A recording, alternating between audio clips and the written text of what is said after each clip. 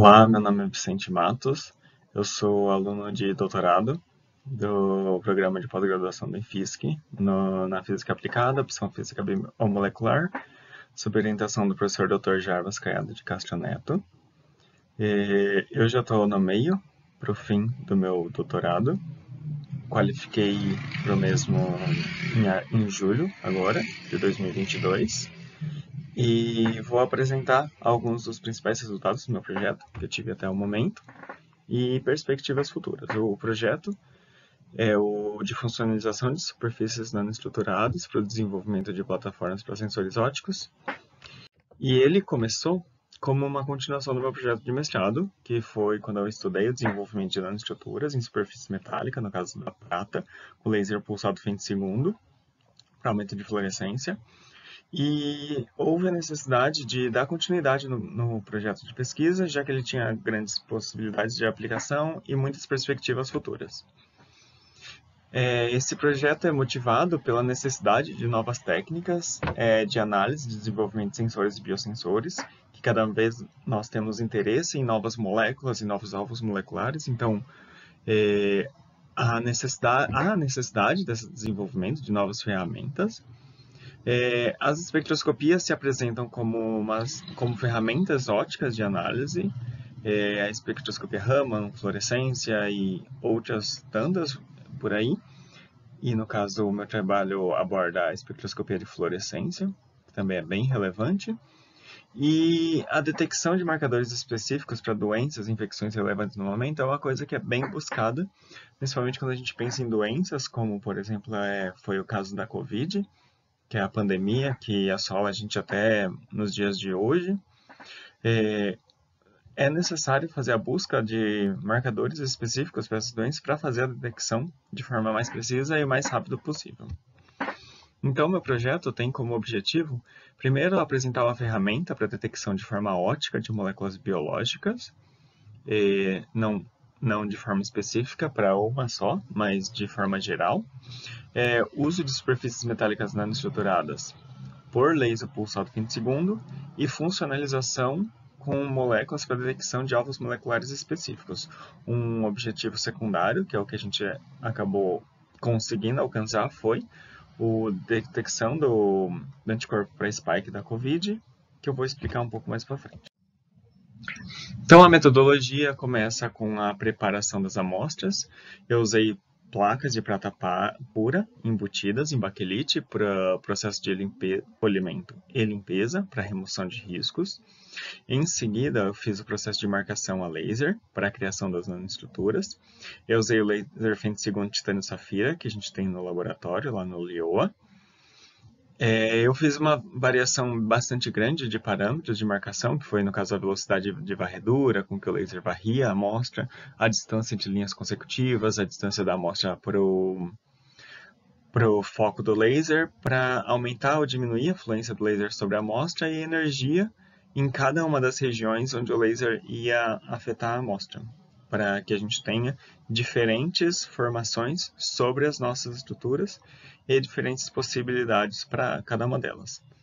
Todas as estruturas formadas elas foram analisadas por microscopia eletrônica de varredura para verificar como eram as estruturas formadas, os perfis e como eram as estruturas em si. E depois a parte nova desse trabalho que foi a funcionalização das nanoestruturas. Foi para transformar a, a estrutura metálica em uma estrutura compatível com o anticorpo de interesse. No caso, a primeira etapa envolvia a adição de glutationa na superfície e, e os ativadores dela, para deixar com que a superfície fosse hidrofílica, uma vez que o metal, quando ele está puro, ele é hidrofóbico. É, adição do anticorpo para spike do vírus da COVID, na concentração de 0,052 é, nanogramas por microlitro, é, que são representado nesse esquema aqui por esses anticorpos em azul. Adição de BSA sobre toda a superfície para hum, impedir a interação do anticorpo secundário com as, a, as estruturas de forma direta, mas sim só direto no anticorpo primário. E por fim, a adição do anticorpo secundário fluorescente, que é o Lexafluor 633, que é o que a gente utilizou para análise do, da ligação na, no anticorpo primário, no caso detecção do mesmo. A última etapa foi a análise por microscopia de fluorescência pelo microscópio confocal, aqui pelo laboratório, com o professor Francisco. Alguns dos resultados que a gente teve foi, primeiro, em relação às nanoestruturas que foram criadas. É, a gente teve diversos padrões diferentes, desde é, mudanças mais sutis na superfície, que é quando os parâmetros eram mais, mais leves, menos intensos, e até modificações mais intensas, como pode ser visto aqui nessa figura de cima, onde a gente tem muitas nanoestruturas geradas na superfície. Elas são, elas são geradas nessas formas esféricas com tamanhos variados de 50 até 600 é, nanômetros e elas se espalham por toda a superfície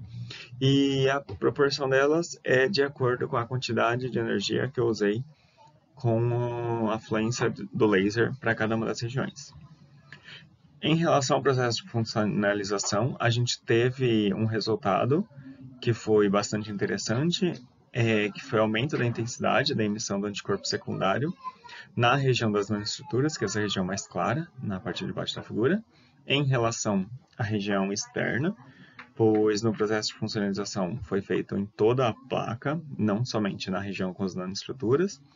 e a gente já teve um aumento de aproximadamente 6,3 vezes, mesmo usando uma concentração bem baixa do anticorpo, no caso, uma concentração de 0,05 nanogramas por microlitro. Já é um resultado bem interessante, mas ainda sutil, perto de resultados que a gente pretende obter. Então, por fim, a gente consegue obter diversos padrões de nanoestruturas e nem todas apresentaram um aumento relevante no sinal de fluorescência em comparação com a região externa. Aquele resultado de 6,3 foi o mais significativo, e ele já é significativo, principalmente quando a gente considera né, que a concentração de anticorpos é bem baixa. Já estamos planejando novos estudos para re repetir os experimentos e melhorar as etapas envolvidas e também a gente tem algumas ideias já, de primeiro em relação a esse esquema que a gente pretende montar. A gente já montou essa primeira parte, foi como a gente fez o, a montagem do anticorpo primário e secundário em cima das nanoestruturas. E a gente pretende fazer a detecção do vírus ou de alguma molécula de interesse nesse formato de sanduíche, onde o, a gente coloca o anticorpo na superfície, adere o vírus nele e uma segunda camada de anticorpo com o anticorpo marcador é, por cima mas ainda a gente está estudando como montar isso da melhor forma possível e também na tentativa de aplicar isso ao efeito SERS, que é usando o Raman, é, espectroscopia Raman, e tentar ter é, um aumento de sinal significativo da mesma forma. Então é isso, muito obrigado.